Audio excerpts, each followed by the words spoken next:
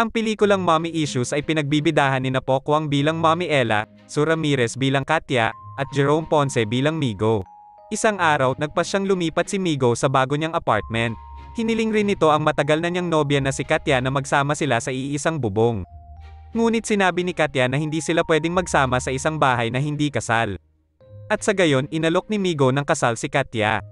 Ngunit ang problema, nahihirapan si Katya na ibunyag ang plano kay Mommy Ella. Hindi problema. It's not you, it's my mother. Oh, eh, siguro, it's time para mamili ka kung ako or your mother. Seryoso ka ba? Sa wakas, sa isang hapunan, nasabi rin ni Katya ang planong pagpapakasal. At syempre, hindi sumang-ayon si Mommy Ella. Okay ka na ba? Bibiglayin mo ako na engage ka na pagkatapos ng mo ko okay lang ako? Kinabukasan, habang si Mommy Ella ay nasa opisina, nakilala niya ang isang mayamang Koreano. Si Mr. Kim ay namimili ng ilang mga lupain sa kumpanya ni Mommy Ella. Pero bago tuluyang magbayad si Mr. Kim, gusto muna niyang makadate si Mommy Ella. Pumayag si Mommy Ella. Una, pumunta sila sa isang kainan ng barbecue. Pagkatapos, nagkaraoke sila. You sing, you sing. Come, come, No come. more singing, singing, signing, signing. Subalit, si Mr. Kim ay nadala ng emosyon na nagresulta sa paggamit ni Mommy Ella ng pepper spray sa kanya. Agad na tumakas si Mommy Ella.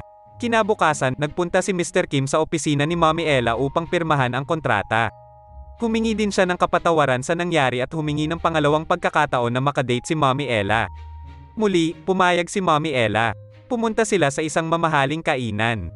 At pagkatapos ay nagdisco sila. Simula noon, naging mas madalas na ang pagkikita nila. At sa hindi inaasahang pagkakataon ay may nangyari sa kanila. Hindi nagtagal, nakarating rin kay Katya ang balita tungkol sa relasyon ni Mommy Ella at ni Mr. Kim. Hindi sang-ayon si Katya dito kaya binisita niya ang nanay niya sa bahay nila na sa mga oras ding yun ay nakikipaglambingan kay Mr. Kim. Kilala mo ba si Papa J para husga mo na Ma, ganyan? hindi mo rin naman kilala yung pagkatao ni Migo para i-degrade mo siya ng ganun. Okay, fine. Quit na tayo. End of conversation. Umuwi na kayo maglolang intrimitida. Bye. May isang pagkakataon din na nagkaroon ng hindi pagkakasundo si Katya at ang kanyang nobyo na si Migo. Ka, nanay ko yun! Oo, Migo, mahal kita! But she's my mother! Kaya napagpasyahan ni Katya na umalis sa apartment ni Migo at bumalik na lamang sa bahay ng kanyang ina. Pero hindi sumuko si Migo. Nagpa siya itong humingi ng tulong kay Mommy Ella para suyuin si Katya. Isang salo-salo ang inorganisa ni Migo para dito. Niyaya si Katya ng lola niya na dumalo.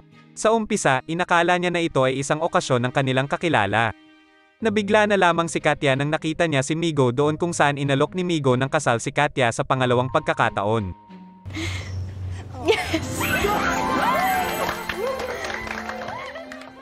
At dito nagtatapos ang ating video para sa pelikulang Mommy Issues.